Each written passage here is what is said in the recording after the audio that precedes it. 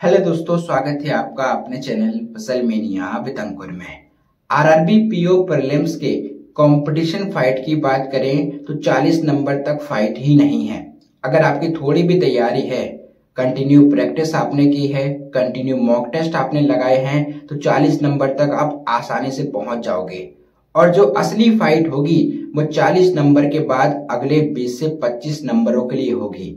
और उसमें सबसे ज़्यादा इंपॉर्टेंट होगा आपके एग्ज़ाम की शुरुआत और क्वेश्चन का सिलेक्शन जब आपकी शुरुआत अच्छी हो जाती है क्वेश्चन का सिलेक्शन आपका बेहतर रहता है तो आप उस टारगेट तक आसानी से पहुँच जाते हो जिसमें आपका एग्ज़ाम क्लियर हो सके। इसलिए एग्ज़ाम में हमेशा शुरुआत आप उन क्वेश्चन से किया कीजिए जो आपके स्ट्रॉन्ग पॉइंट हैं। क्योंकि एग्ज़ाम में जब कम समय में शुरुआत के 15 से 20 क्वेश्चंस आप जल्दी बना लेते हो तो कॉन्फिडेंस आ जाता है। क्योंकि एग्ज़ाम हॉल में बैठकर जब हम एग्ज़ाम देते हैं ना तो सबसे ज़्यादा नर्वस हम एग्ज़ाम के शुरुआत में ही होते हैं। और जब एग्ज़ाम की शुरुआत अच्छी हो जाती है, शुरुआत के पाँच से दस मिनट निकल जाते हैं तो काफ़ी कॉन्फिडेंस भी आ जाता है और पूरे एग्ज़ाम में गलतियाँ होने के चांसेस भी बहुत कम हो जाते हैं। और सिर्फ़ दो दिन रह गए हैं, आज और कल का दिन।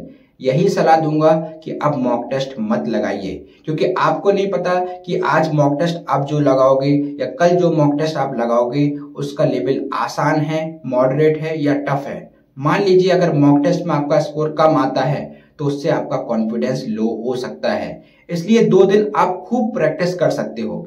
Sectional test topic test speed drill से आप जितनी ज़्यादा प्रैक्टिस कर सकते हो, कीजिए। और जिन्होंने भी आरआरबी पीओ प्रीलिम्स का मेमोरी बेस्ड पेपर लगाया है तो कमेंट में आप ज़रूर मेंशन करें कि मेमोरी बेस्ड पेपर में आपका कितना स्कोर और परसेंटाइल बना है। मिलते हैं फिर नेक्स्ट वीडियो में।